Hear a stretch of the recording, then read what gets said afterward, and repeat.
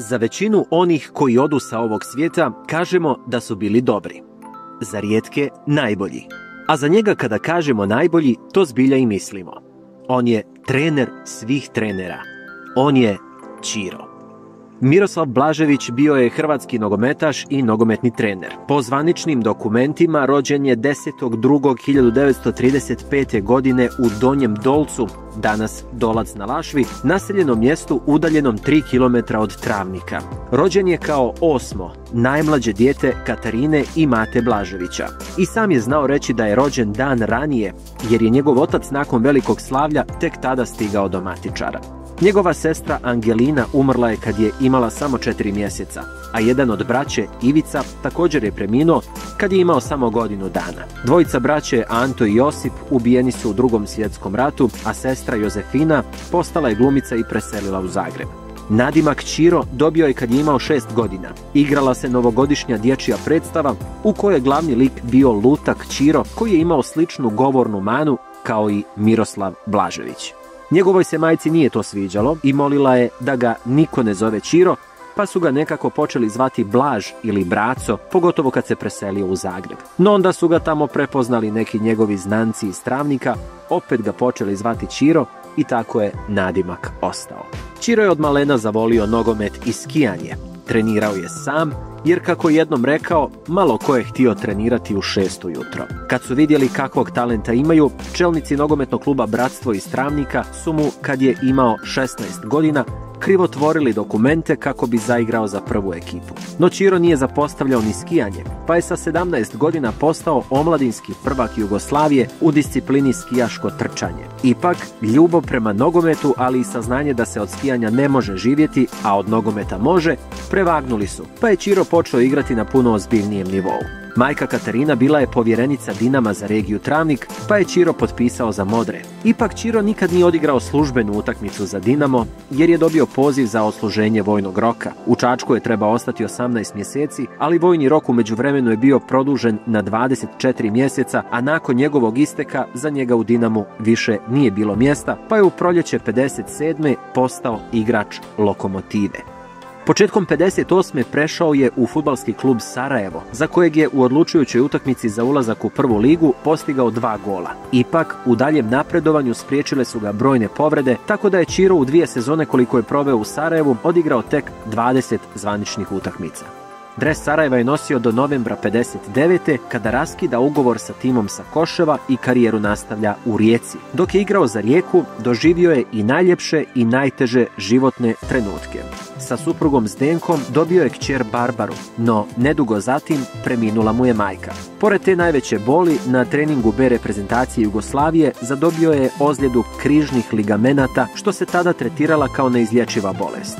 Koljeno Čire Blaževića više nikad nije bilo isto. Tri godine kasnije prelazi u švajcarski Sion, gdje je i završio karijeru i posvetio se trenerskom poslu u kojem je napravio mnogo više uspjeha. Dok je igrao u Švicarskoj, morao je raditi dodatne poslove. Zaposlio se u jednoj školi u Sionu, ali ne kao profesor tjelesnog odgoja, što je bio po struci, već kao čistač. Naime, nije znao ni jedan od jezika koji se govori u Švicarskoj. Potom je radio kao vozač kamiona i radnik u tvornici satova. Sredinom 67. Čiro se preselio u gradić Devi, koji je imao nogometni klub u najnižem rangu takmičenja. Čiro je u četiri godine uveo u prvu ligu. Trenersku karijeru nastavio je u Sionu, a potom i u švicarskoj reprezentaciji koju je vodio samo dvije utakmice jer su u Savezu otkrili da ne zna njemački.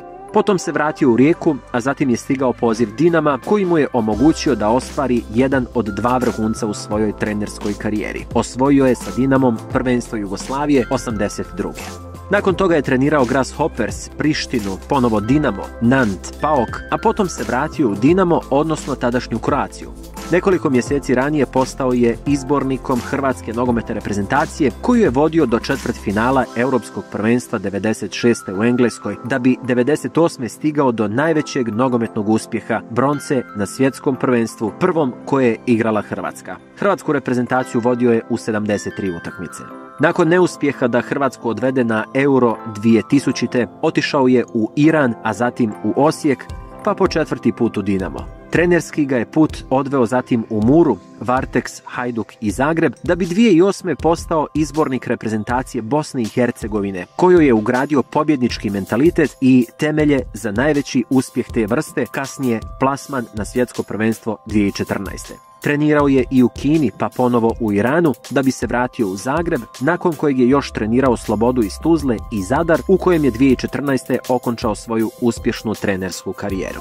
Miroslav Čiro Blažević proglašen je Dinamovim trenerom stoljeća kao stručnjak koji je nakon 24 godine donio Dinamu naslov prvaka, ali i vratio veliku popularnost tom klubu. Dinamo na svojoj službenoj stranici navodi kako je taj klub u šampionskoj sezoni 81-82 imao čak 42 tisuće pretplatnika te je po tom kriteriju bio na drugom mjestu u Europi iza naravno nedostižne Barcelone. Čiro je u Varteksu od 2003. do 2005. bio mentor današnjem izborniku vatrenih Zlatku Daliću, koji mu je nedavno posvetio svjetsku broncu u Kataru. Nagovarali su ga da postane ministar sporta, no to nikad nije htio raditi. Kasnije se kandidirao na predsjedničkim izborima, ali je osvojio svega 0,8% glasova, odnosno nešto više od 17.000 glasova. Šarmantno prost, ali uvijek elegantan, Čiro će ostati upamćeni po bijelom šalu kojeg je nosio oko vrata. Taj modni detalj vidio je kao dječak na svom omiljenom glumcu Šarlu Boajeu i tada je rekao jednom ću ja nositi takav šal. Pored trenerskih uspjeha, najvećim uspjehom mogao je smatrati svoju obitelj, kćerke Katarinu i Barbaru, sina Miroslava i suprugu Zdenku. Čiro i Zdenka Đorđević upoznali su se u Rijeci kad je njemu bilo 27, a ona je tada bila maturantica i u braku su bili preko 60 godina. Cijeli život sretan sam s njom, ne bih izdržao više od 50 godina da nisam, izjavio je svojedobno. Zajedno su prošli puno toga i lijepog i ružnog, a jedan od najtežih trenutaka svakako je bio onaj kad je Zdenka doživjela saobraćajnu nesreću i zamalo izgorjela u automobilu. Vjenčali su se 61. godine, a jednom je prilikom legendarni trener priznao medijima da mu je supruga najveća podrška i oslonac tijekom cijelog života. Kad su se u jednom periodu života odselili u Švicarsku, njegova supruga pristala je raditi svakakve poslove kako bi preživjeli, dok je on radio u ateljevu za dekoraciju, ona je prodavala salatu. Prvi put dijagnosticiran mu je karcinom prostate 2011. ali Blažević se othrvao opakoj bolesti. Godinu dana nakon toga operiran je i zbog melanoma u početnoj fazi. 2019. teška se bolest još jednom vratila, jača nego ikad, a Čiro se s njom nije izborio. Preminuo je 8.2.2023 samo dan prije svog 88. rođendana. O svom odlasku govorio je otvoreno, kako je govorio o svemu oko sebe. U svakom slučaju nemojte za mnom žaliti. Previše sam napravio da ne bih bio spokojan. Previše dobrog i koliko god se trudim, ne mogu naći kome sam zlo napravio i to od najranije mladosti. Rekao je jednom legendarni trener, trener svih trenera, jedinstveni Miroslav Čiro Blažević.